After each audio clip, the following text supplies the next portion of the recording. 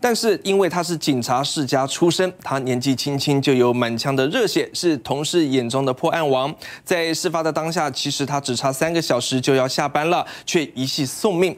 派出所的同事在十三号哭红了眼，列队向他致敬，却在喊完任务结束之后，瞬间天降大雨，雨水、泪水一起溃堤。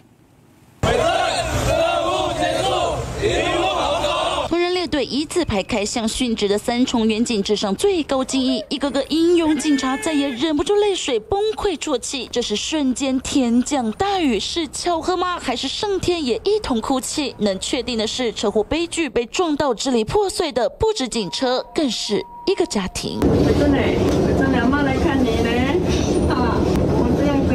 气胸骨折、昏迷插管，家属悲痛赶到医院，弟弟正一旁错愕崩溃，爸爸当场哭到泣不成声。一手带大黄姓警员的阿妈更是强忍泪水，摸着孙子的头忍痛拔管。白发人送黑发人，心如刀割。家属是一个警察世家，弟弟也是我们新北市的警员，舅舅是警察身份，鼓励两个兄弟从事警察的职业，兄弟都非常的乖巧。警察世家满腔抱负要当人民保姆，年仅二十八岁的黄伟正。警专三十三期毕业，从警八年。二零二零年结婚后，与太太育有一名四岁儿子，美满照片历历在目。家里唯一的经济支柱，好爸爸、好丈夫却一系没了。平平日上班非常的尽责，也很准时。平时工作优异、破案连连的优秀员警，巡逻班只差三小时结束，却命丧马路，执行无辜殉职，一个家庭心碎，台湾社会也就此少了一名热血的英勇警察。记者黄明君、洪玉兰新北市报道。